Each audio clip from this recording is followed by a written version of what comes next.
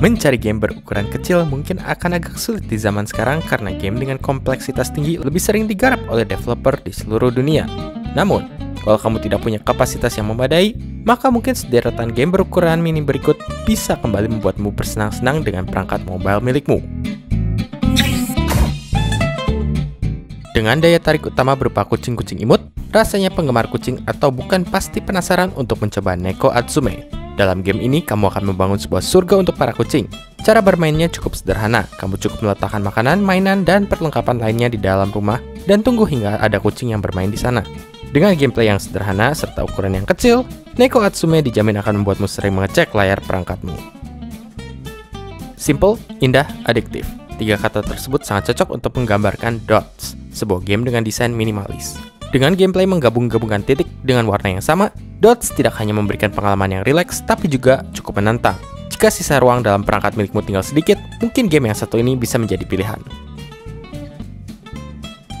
Sebagai game asal otak ringan asli Indonesia, Tebak Gambar tidak hanya menawarkan teka-teki gambar yang menarik saja, tapi juga menghadirkan ukuran yang cukup kecil. Gambar-gambar yang ada terasa kreatif dan lucu, sehingga tidak heran bila Tebak Gambar telah diunduh jutaan kali oleh pengguna perangkat mobile. Pixel Dungeon merupakan RPG roguelike ringan yang terinspirasi game klasik seperti Brogue. Game ini sebenarnya hasil dari penggunaan engine open source hasil karya developer tunggal Watabo.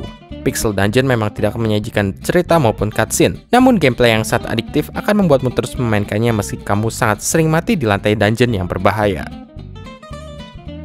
Terinspirasi shooter klasik Space Invader, Voxel Invaders garapan Noctua Software ini penuh dengan kesan nostalgia.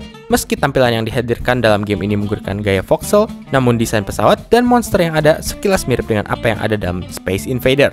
Dengan ukuran mini dan gameplay shooter yang penuh nostalgia, Voxel Invaders rasanya sanggup untuk menghibur penggemar top-down shooter di mobile.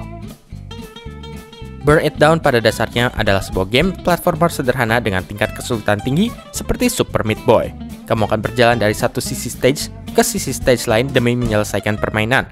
Tidak adanya fitur checkpoint mungkin bisa membuat siapa pun frustasi memainkannya, tapi bukan berarti game ini tidak bisa ditaklukkan.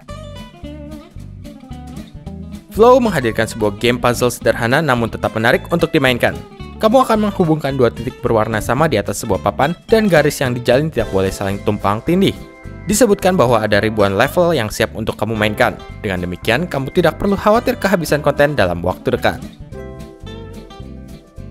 Meski dari tampilannya tidak menunjukkan sesuatu yang istimewa, Skater Boy menghadirkan keseruan yang tidak kalah dengan game bertema skateboard lainnya. Kamu akan mengendalikan bocah dengan skateboard miliknya dalam melintasi medan yang penuh rintangan. Kamu harus cekatan dalam menentukan timing melompat, menambah kecepatan, hingga beratraksi di udara. Meski ukurannya kecil, ada puluhan level yang siap untuk menguji kegesitan jarimu. Punch Quest memang bukanlah sebuah game baru, namun berkat rasa klasik, gameplay yang seru, serta ukuran yang cukup kecil, tidak heran bila Punch Quest mampu bertengger dalam daftar ini. Dalam Punch Quest, refleks jarimu akan diuji dalam menghajar musuh yang menghalang. Selain itu, adanya beberapa power-up seperti telur dinosaurus juga membuat permainan menjadi semakin menyenangkan merupakan game WWE 2K dengan grafis 3D karena wrestling hanya akan menghadirkan grafis pixel dan gameplay adiktif di dalamnya. Tugasmu di sini adalah melempar keluar musuh yang ada dalam ring. Meski sederhana, namun gameplay yang dihadirkan mampu memberikan momen-momen konyol. Dengan ukuran yang terhitung kecil, wrestling mungkin bisa kamu install tanpa perlu pikir panjang. Demikianlah sejumlah game Android ukuran mini terbaik pilihan kami. Kalau kamu ada rekomendasi lain atau ide video selanjutnya, langsung saja sampaikan lewat kolom komentar. Jangan lupa untuk subscribe, klik like, dan bagikan video ini. Sampai jumpa di video selanjutnya dan selamat menikmati libur lebaran kalian semua.